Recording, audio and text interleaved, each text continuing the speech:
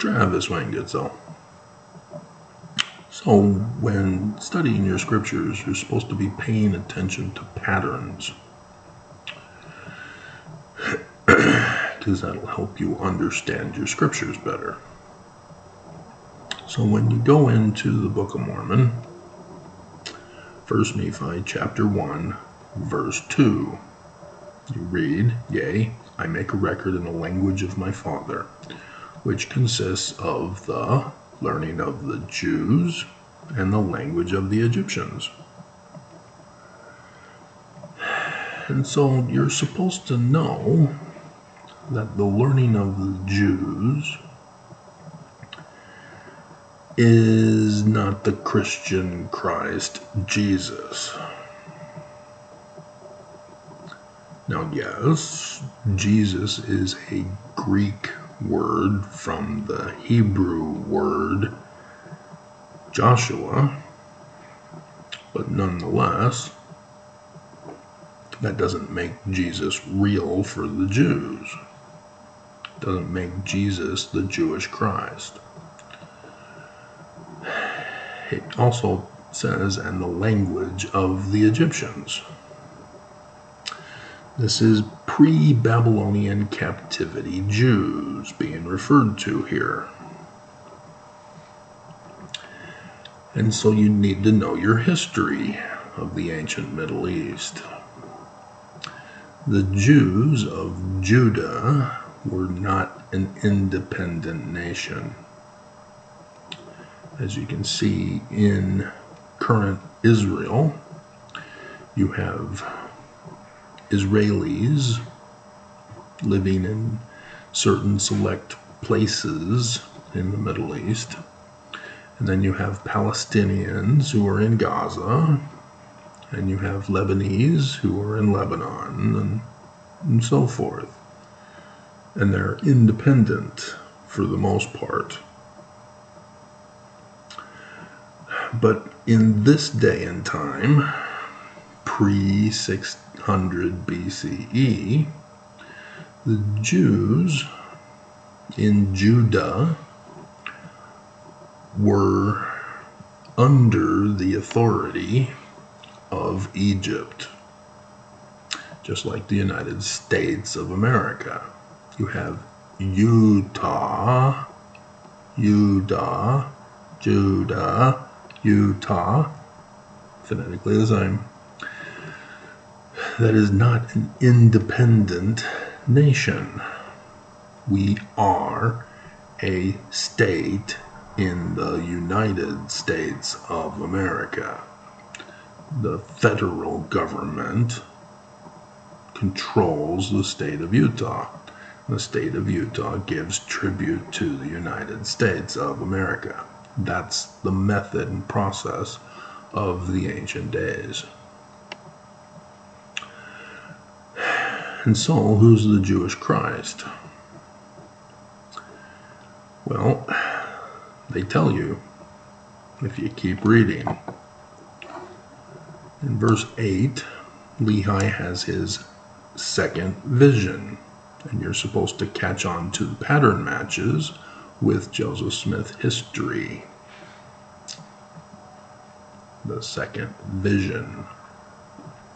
And you don't see the footnote connection until you get to the Christ.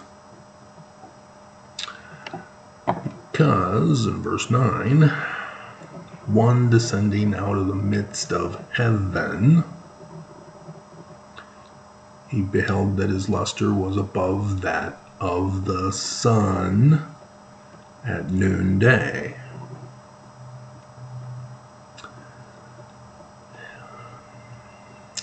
This is the Jewish Christ. The sun god at noonday. And so, because we have Google search, life is easy for you guys if you would but research. And so you type in Egyptian sun god at noonday. And on Google search, it shows Ra.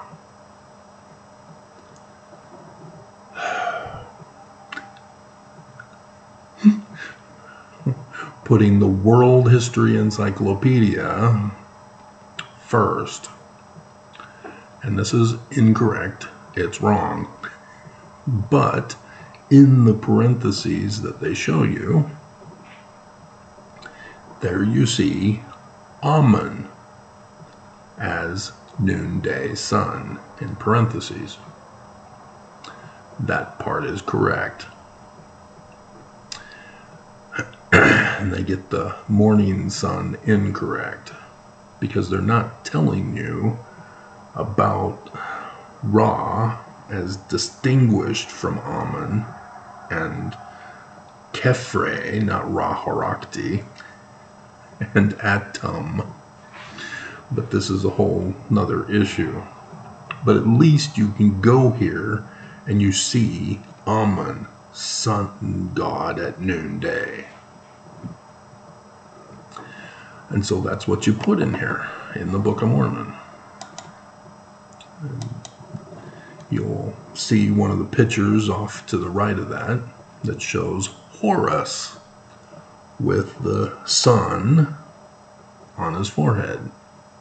And it's red, not yellow. There's a reason for the season. and so, yes, there's a lot of Egyptian that you need to know now. But you at least found out it's Amun who's being referred to in 1 Nephi chapter 1 verse 9. And so you see the footnotes below 9a. Joseph Smith History 117, 16 to 17 specifically in parentheses. So anybody recall what that is? Oh, that's that's the first vision, isn't it? There's these two personages who appear to Joseph Smith. And how are they described? So, what are their names? Who appears to Joseph Smith in the grove of trees in the spring of 1820? According to the Joseph Smith history in 1838. Amun. Father Amun, son Amun. In the language of the Egyptians. And so also verse 30. Hmm, second vision? But that, that that's Moroni, because you didn't bother to check the Joseph Smith papers that the church is telling you has been released. And you're supposed to check it to make sure our scriptures are accurate because the church tells you the Joseph Smith papers are the authoritative source, which means what they contain corrects our canon of Scripture. And so it's Nephi, not Moroni. And how is Nephi described? The sun at noonday. That's an Amun, the god Amun. Amun, God. In Hebrew, God is El. Amun, El. So, is there an Amun El in the learning of the Jews?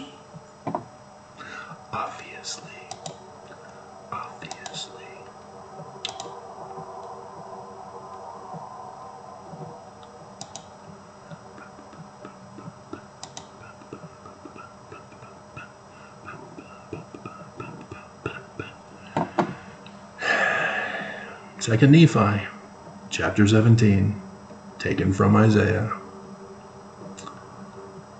Hear ye now, O house of David.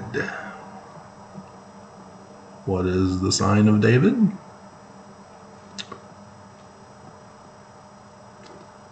The double D's combined together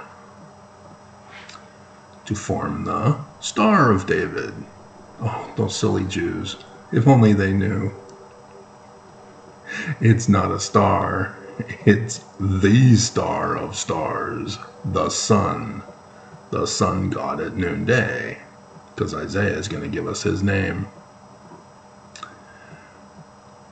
Therefore, the Lord himself shall give you a conjunction in heaven which means he's giving you a star date. That's what a conjunction means. Behold, Virgo shall conceive Jupiter and bear Jupiter and shall call his name. There he is, Amen El the sun god at noonday of the Egyptians, using a different culture and nation during the time period in which it was written.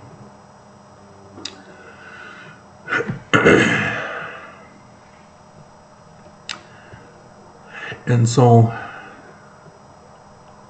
uh, interestingly, if you knew Paleo Hebrew, you would recognize that the I is similar to the A in that it is the universal symbol of the sun.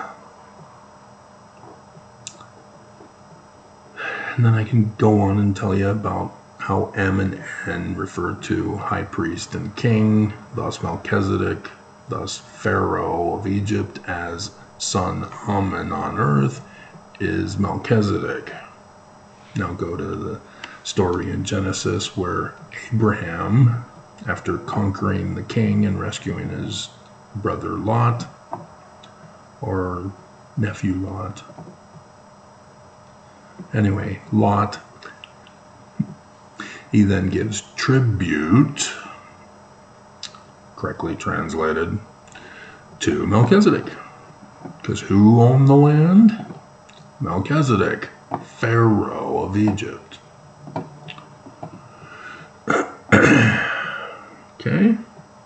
So if we were to go to the second vision and keep reading, we get to verse 40. We see that Joseph Smith takes us to Acts and says that that prophet is our Christ. Well, it's the learning of the Jews Christ, therefore it's not Jesus. And so you go to Acts, and Acts takes you to Deuteronomy 18, 15 through 19. The law of the Jews.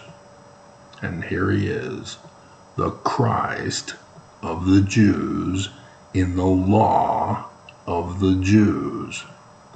This is the keystone of Jerusalem, of Judah, of the Jews, like the Book of Mormon is the Mormon keystone. Deuteronomy is the keystone of the Jews. Here's their Christ. I just went over with you in the Book of Mormon who our Christ is. He's the same Christ as the Jews.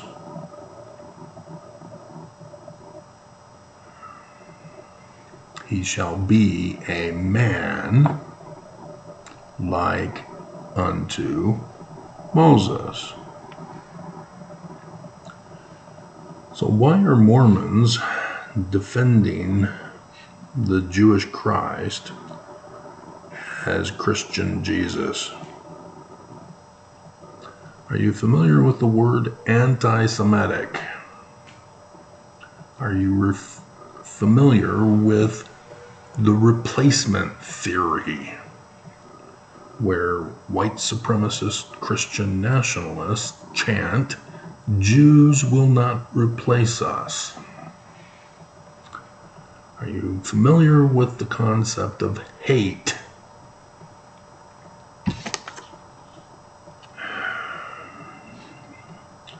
I've already done the video the other week about how Deuteronomy is established in the Book of Mormon. You need to follow it. You need to know the law of the Jews. but what you have not done is your world religion history to know that Christianity is the great and abominable church. If you were to have read on in the first vision, just two more verses, you would have come across um, son Ammon telling Joseph Smith about Christianity. I was answered that I must join none of them, none of the Christian churches, for they were all wrong. And son Ammon, who addressed me, said that all their creeds, and thus the first creed of Christianity was Roman Emperor Constantine, 325 CE, after the New Testament had already been written in separate books, papyrus scrolls. They were not combined together into a single book. And yet Constantine comes around, forces bishops of congregations with these original documents for their religion, all different, all having a different interpretation of the nature and character of their Christ, and Constantine forced them to be one. And so they had to give up their religion. They had to give up their Christ for the new Christ of Constantine. They named him Jesus, despite the prophecy, and they turned the scriptures of the Jews, yes, the New Testament, into literal history. And so now this Jesus creation, which is the nature and character Constantine had to create a new word for because none of the bishops could agree. They would not give up the nature and character of their Christ. And they were all different. And so Constantine settled it. He was hot and cranky. It was during the summertime. And so he created a new word. Does not exist. He made it up. Homoousion. It's there in the Greek text in the Creed. And therefore it means, by definition, not real. Because he made it up. The nature and character of Jesus, of Christianity, is not real but they turned the Jewish scriptures about their Christ in the future because they give star dates for when he's coming.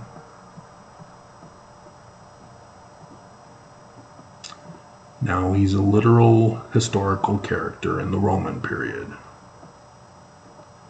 And now, all of a sudden, the Jewish authors who's writing about their Christ in the future has now been murdered by Jews in the Roman period time.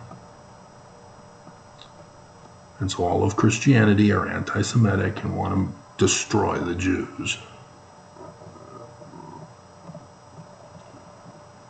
Hmm. Constantine weaponized Christianity to war against the Jews?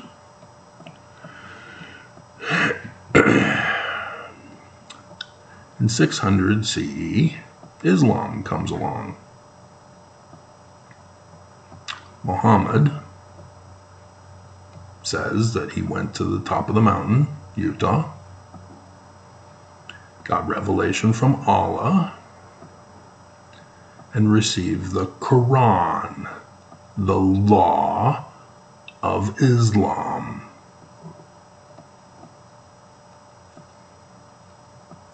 He's now claiming to be the man like Moses of the Jews, whom the Jews give a date for when he's coming.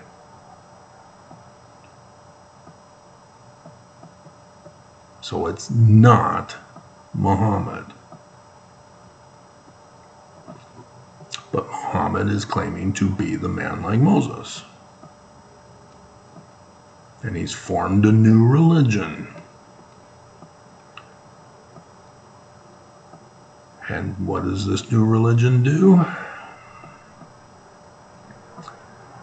They go around and murder and destroy if those don't convert to Islam.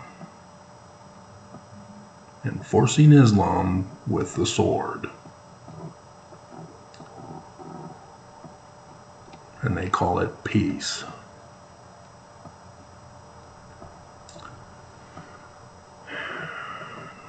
And so, have you not caught on by now? Brigham Young. He was missionary. He's supposed to go around and giving people the Book of Mormon in the learning of the Jews about the Jewish Christ. But what did he name his church after Joseph Smith was assassinated? the Church of Jesus Christ of Latter day Saints. Claims he's still the second president. You go to the Joseph Smith papers for the Joseph Smith history, and oh look, you have to click on the link because the they wouldn't let you know outright. They wouldn't put the original, the Church of Latter day Saints and then you click on the link and it pops up to say Willard Richards inserted Jesus Christ. Instead, they put Jesus Christ in the text with brackets, and then you click on it, and then it says inserted by Willard Richards. They're purposely trying to deceive you in the Joseph Smith papers. You have to pay attention and click on the links in the Joseph Smith papers.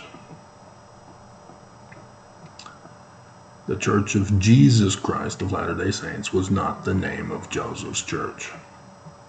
And then you say, well, section 115, Travis. Nelson, over the pulpit of conference. Nope. That document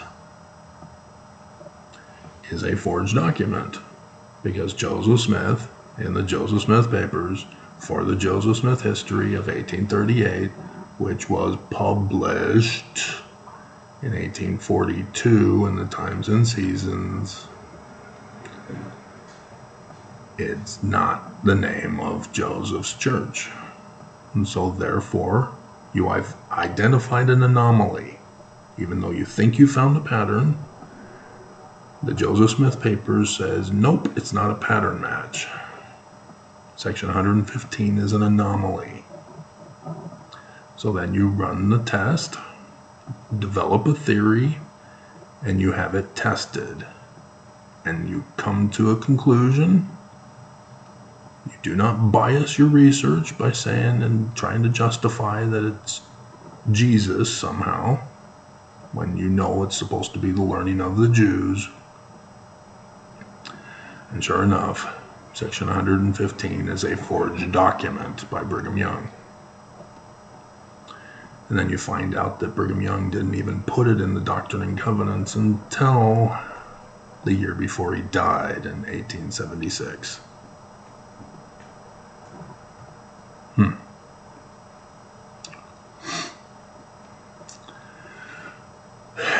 This is how you do your research. This is how you do study. And the church doesn't want you to. They tell you what to believe. They tell you how to think. They tell you how to feel. You're supposed to read, ponder, pray, get a feeling. If it's not the right feeling, you got to keep read, ponder, and praying until you get the right feeling. Now it's correct. That's not how it works. You must manifest.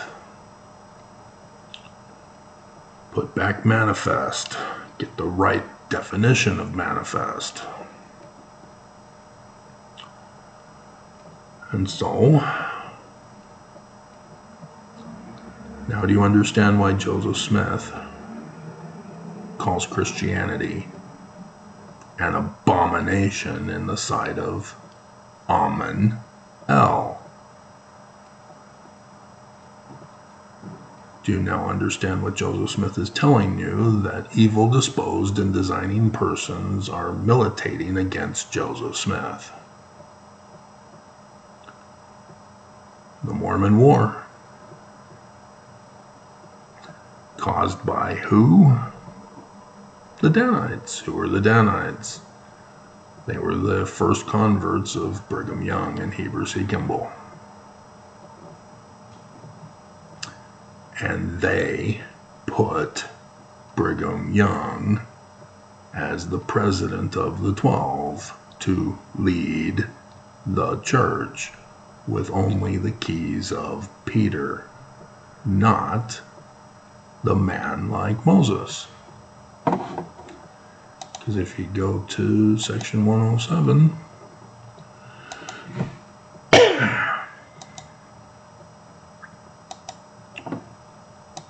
verse 91.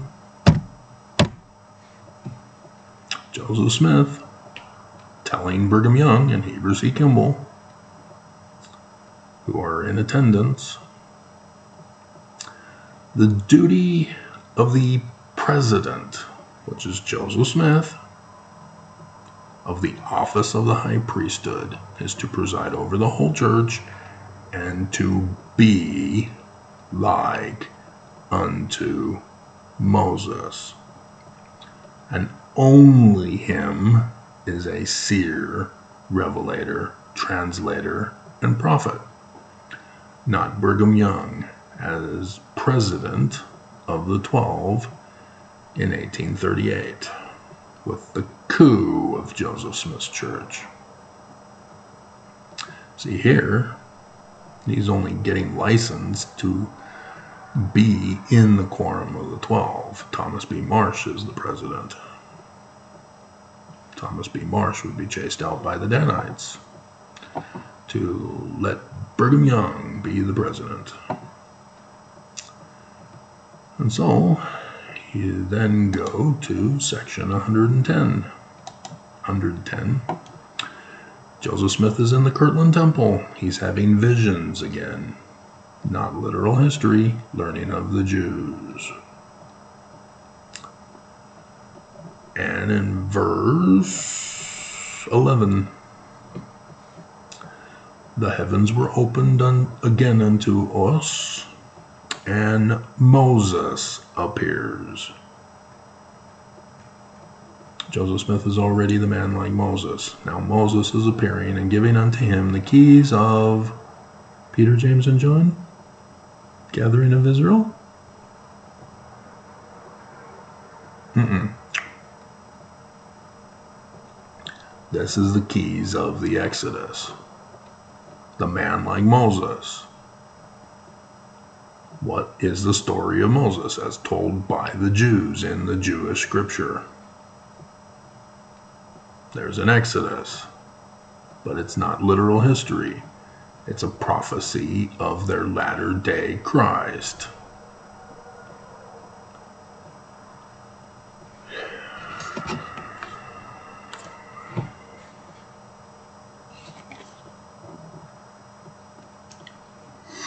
Getting rid of a bunch of papers at once in one video.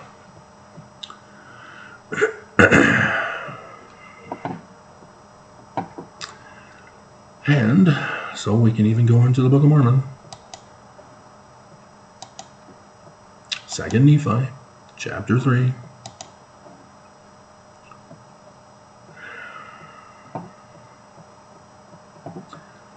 And verse 6. For Joseph truly testified, saying, A seer, not a prophet?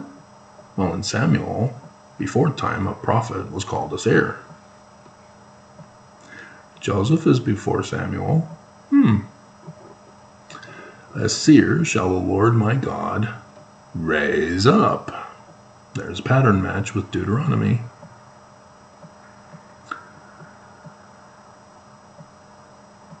Who shall be a choice seer unto the fruit of my loins?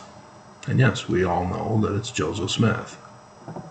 His name shall be after Joseph and after his father, Joseph Jr. But in verse 5, he obtained a promise of the Lord that out of the fruit of his loins men have seed. They plant the seed in a woman, and the woman sprouts, and the baby grows up to be fruit. Grows up. Little children are still sprouts. They are not a testimony. They cannot get a testimony. They have to work on it. it takes time. When they're an adult, when they're fruit.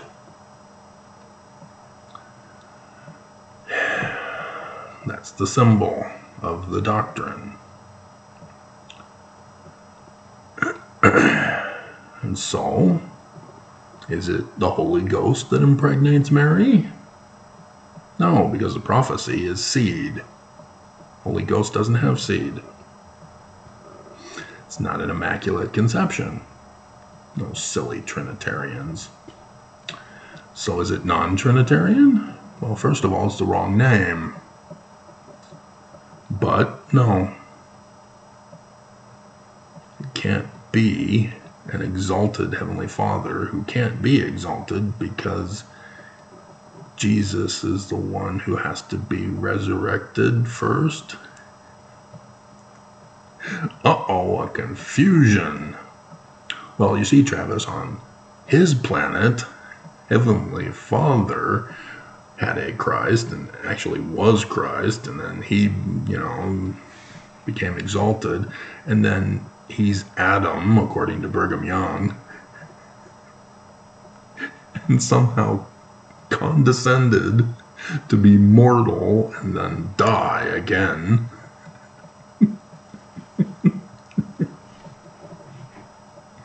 Mm-mm. Mm-mm. And then the other version, exalted Heavenly Father seed, impregnates Mary, and she doesn't die.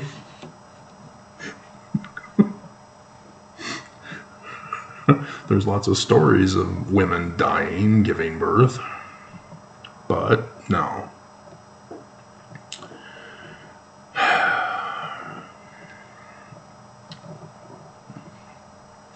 And so he's talking about Joseph Smith, obviously, here first.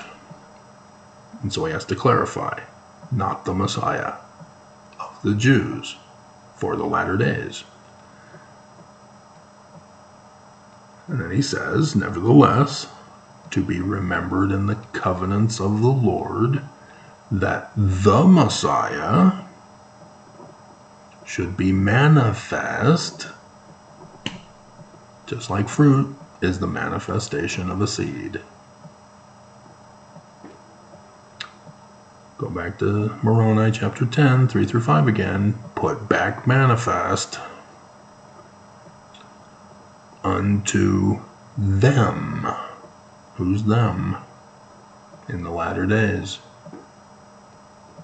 Who is them? And they're going to be in bondage. They're going to be in darkness.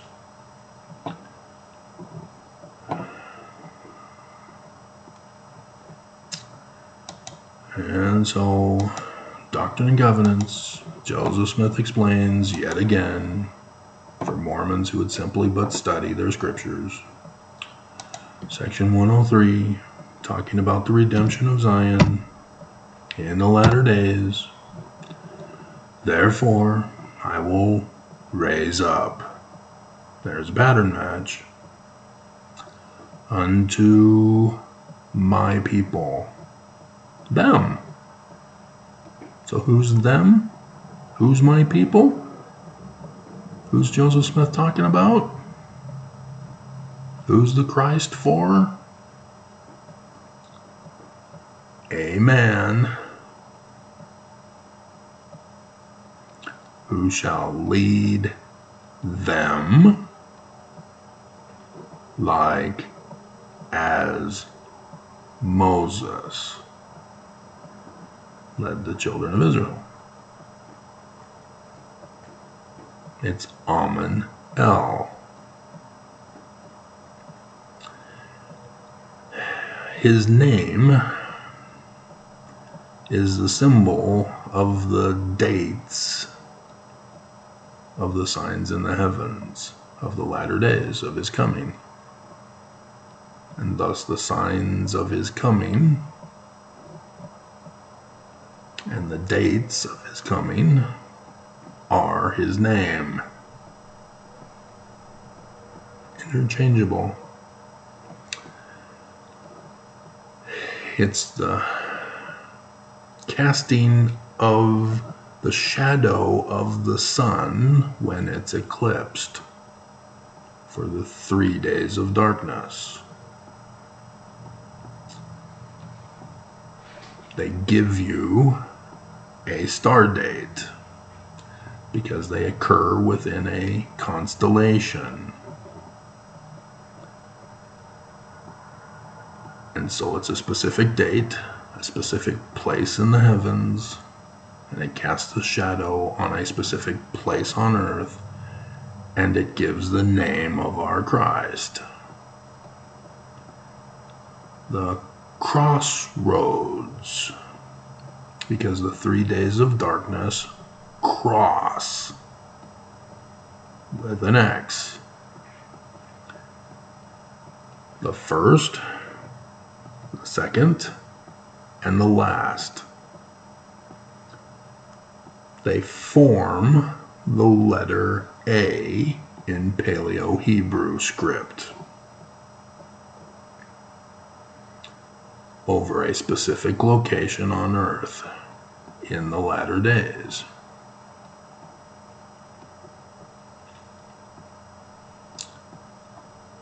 So the first is in the Lion constellation at the star Regulus, the king star. Anybody familiar with Samson? What's the first death in Samson? The lion. Anybody familiar with the facsimiles of the Book of Abraham? There's an attempted murder on an altar. What is the altar? It's a lion. The second is in Virgo.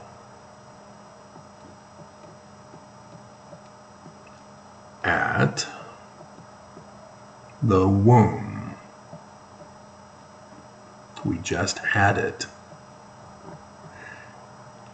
It passes over Utah. What's the second death in Samson? His first wife. She's burned with her father. The second day of darkness was an annular eclipse, the ring of fire. Facsimile number two. There's a ring around the hypocephalus. It's the Eye of Ra. Amun, the sun god at noonday. With a ring around it for an annular eclipse.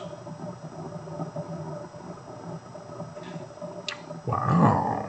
Joseph Smith is more impressive, isn't he? And then the last one.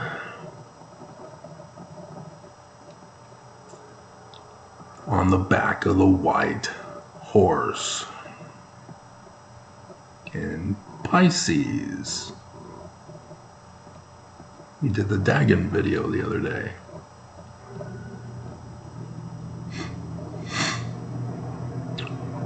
But that's not the lamb. Aries.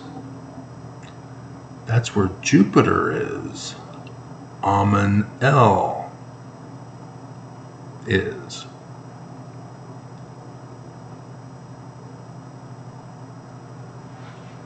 Revelation chapter 19.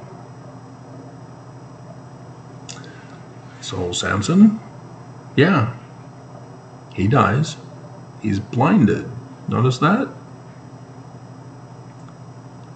The blinding of the eye of Ra eclipsed. But he is Jupiter. He's in the sacrificial ram constellation of Aries. Lamb, ram. But he takes out the Philistines of Dagon worshippers. He's a Danite by descent. Hmm. Interesting. Brigham Young converted the Danites. The Danites came with him, making him the president of the church, cooing Joseph Smith's church to the Salt Lake Valley. Where Mormons who do not go in an exodus, who stay behind, become a pillar of salt of the great Salt Lake. The stars falling from heaven. Seeing the learning of the Jews yet? Sodom, Lot. Well, catching on? Because it's a lot of fun when you lift the Christian blinders from your eyes. So imagine Superman 100 years from now, humans on Earth see the movies and TV shows of Superman, and they decide that they're going to turn it into literal history. Superman is now a real person who lived in our day. 100 years from now, they're looking back, they're now calling Superman literal history that he's real, he existed, he was on Earth. And somehow one of the episodes they believe indicates that he's coming back to Earth for a second coming to save the people a hundred years from now.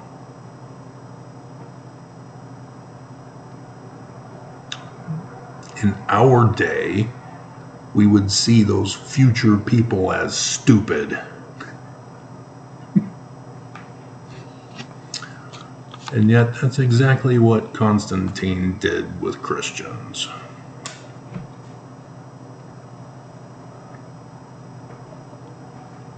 Three post it notes, one video.